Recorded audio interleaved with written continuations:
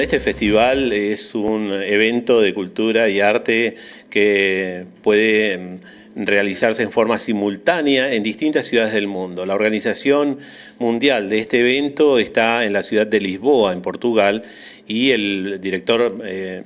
principal del evento, el, organizador o fundador, por decirlo así, es Philip Larsen, un gran músico, un prestigioso músico y maestro que, bueno, si alguien eh, googlea a este hombre, eh, se va a encontrar con que es el músico de, que le ha hecho la música a grandes artistas mundiales, de fama mundial. Este hombre ideó un evento que tiene que ver con una exposición de distintas actividades artísticas y culturales en muchísimos rubros. Entre ellos son 26 rubros en total,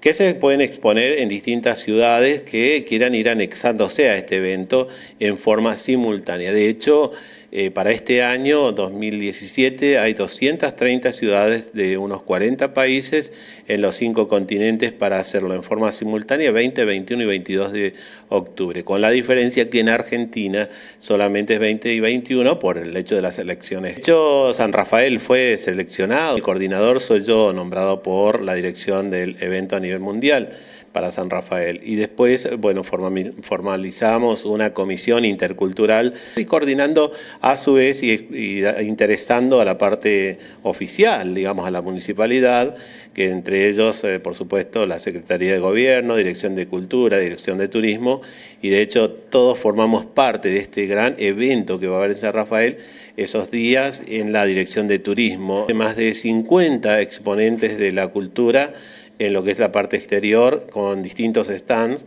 y por supuesto un escenario principal, un escenario central donde se van a poder ver distintos shows artísticos. El, lugar es la dirección de turismo, eh, desde las 15 horas a las 22 el día viernes y desde las 15 a las